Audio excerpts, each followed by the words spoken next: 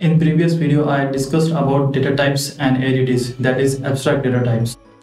You know that ADTs only describe how variables of given data types are operated. It provides us a list of operation, but it doesn't explain how data operations happens. Conversely, data structure describe how data is to be organized and accessed in the computer memory.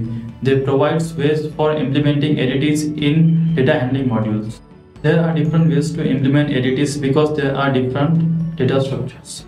Selecting an ADT implementation that uses best data structure according to your need is essential for creating efficient computer programs.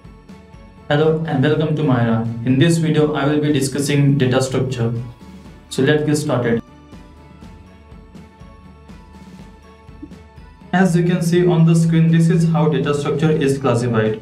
We have discussed primitive data structure in previous video. We have also discussed stack and queue.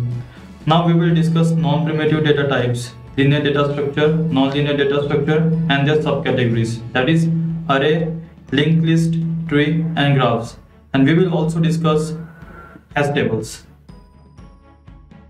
We know that primitive data types are predefined data types inside the given programming languages. Non-primitive data types or object-oriented data types are user-defined data types that store different data types in single entities. As an example, consider list A. Here A contains integer 1, string apple, float 2.21 and boolean false inside it. Hence A is a non-primitive data type.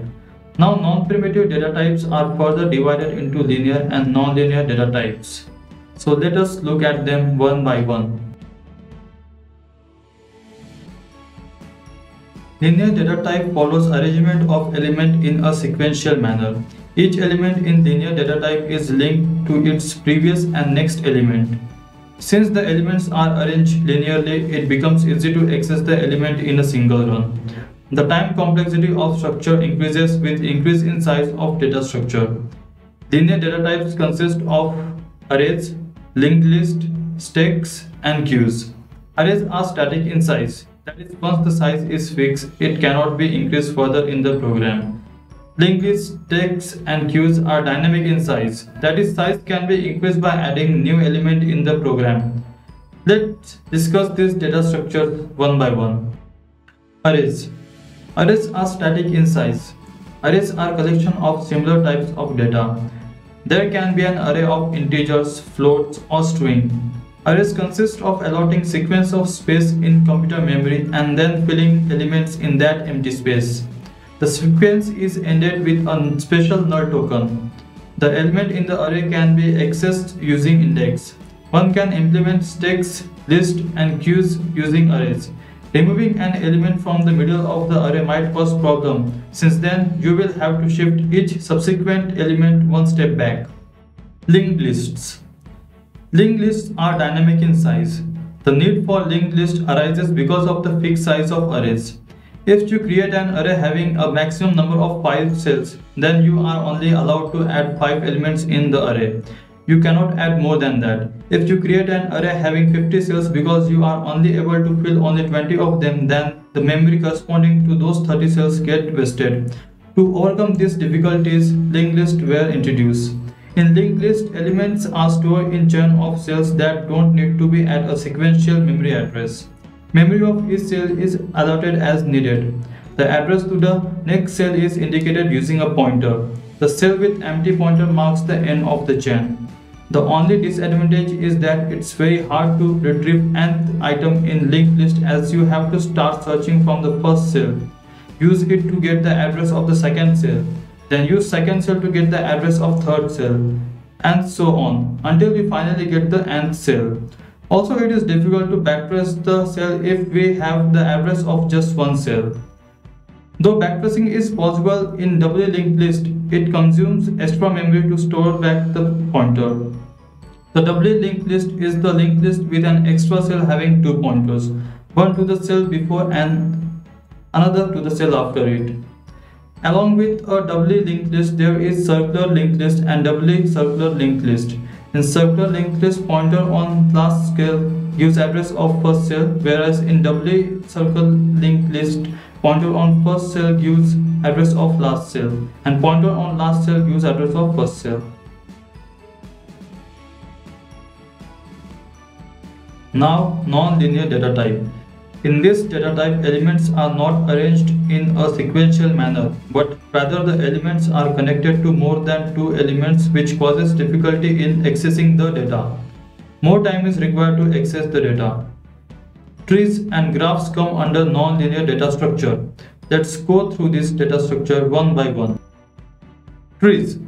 Similar to linked list, trees also employ memory cells that do not need to be contiguous in physical memory to store objects. Trees also has pointer which gives the address of next cell. The only difference that in the linked list, cells are arranged sequentially but trees has a structure similar to an actual physical tree. Cells in trees are called nodes. Pointers are called edges. Topmost node is called root or parent node. Siblings are two nodes that have the same parent. Nodes with no children are called leaf node. A path is the gap between two nodes and edges that can lead from one node to another. Level of the node represent the generation of the node. A set of trees is called a forest. One special type of tree is the binary search tree. Let x represent the parent node and y, z represent the children node. If y is less than x and z is greater than x, then y will be on the left and z will be on the right of parent node. If we have to search for the node with a given key value, then this property of the tree makes the job easy.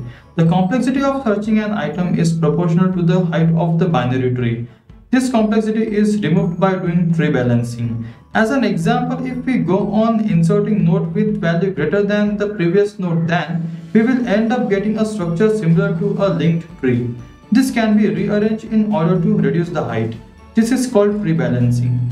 Some self-balancing trees are red-black tree, AVL tree and B tree. These data structures are mainly used in maps and sets. Graphs Graphs are similar to trees except they don't have parent or children nodes. Data can be arranged freely as nodes, which are known as vertices and edges, and any node can have multiple incoming and outgoing edges. This makes graphs more flexible. Let's elaborate more on structure of a graph. Two nodes connected by a ray are called directed edges, where the arrow shows the address of the next node. Two nodes connected by segments are called undirected edges, Graphs using directed edges are called directed graphs. Graphs using undirected edges are called undirected graphs. As an example, graphs are used in highway networks, flight network, internet, local area network, etc. The hash tables. Hash tables are often used as a linear data structure but they can also be used as a non-linear data structure. Hash tables are similar to arrays, but unlike arrays, elements are not stored in an order sequence. The position an element occupies is given by a hash function. That special function takes data you want to store as input and outputs a random looking number. This number is interpreted as a memory location. This allows us to access the data instantly. As a disadvantage, sometimes the hash function returns the same memory position for two different inputs. This is called hash collision. Ideal hash function return random looking values for different inputs. Hash tables are often used to implement sets and maps. Thank you for watching the video. Hope this video was informative. Please like and subscribe to the channel to stay tuned.